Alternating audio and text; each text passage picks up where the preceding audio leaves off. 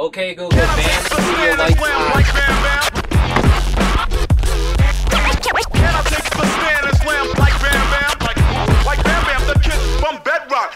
Hey, what's going on, guys? Welcome back to PBAM Vlogs, and today we got another quick unboxing for you guys from Fastlane RC. We got the little XLF Racer XPS.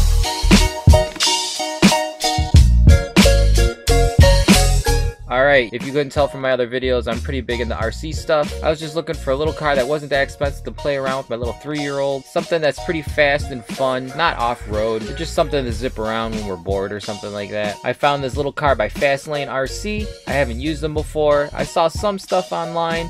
It looks pretty good. I didn't see any reviews on this car of how I really wanted to see how the product was, so I decided to do a quick unboxing before we go take it out. We'll set it up real quick. It's not that hard. It's real easy. Just needs batteries and just the controller and the car. But let's just go over the stats real quick. Alright guys, we got here the Fast Lane Extra Performance Series 124th scale radio controlled vehicle, FLX Racer. This is one we got. You can find them anywhere from 10 to 12 bucks, under 15 bucks for sure. The info they got here, it's a 124th scale. It's less than a pound. It goes about 9 miles an hour. Fully functional controller, about 160 feet away. It operates at 2.4 gigahertz. Requires 3 AA's and 2 AA batteries. And they say ages 8 and up. Eh, probably a kid around 3 or 4 is fine if you ask me. Kids are pretty smart these days.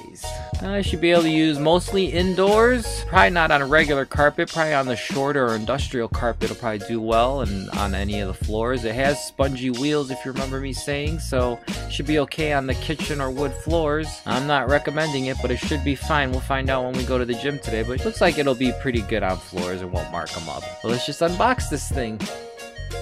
Alright, cool. Let's get this open. Nothing in here. There's the box. So let's just get these off real quick.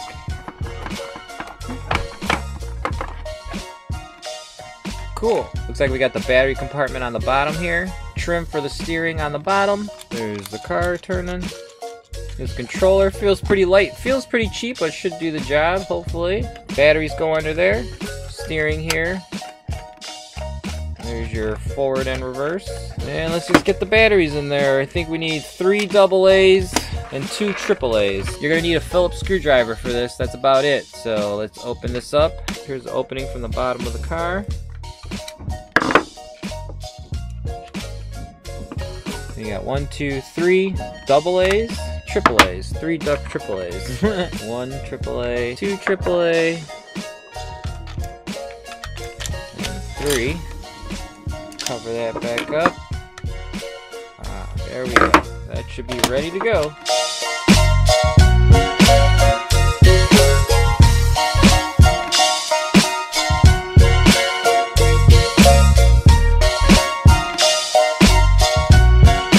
Magic. One screw on the bottom here. One in there.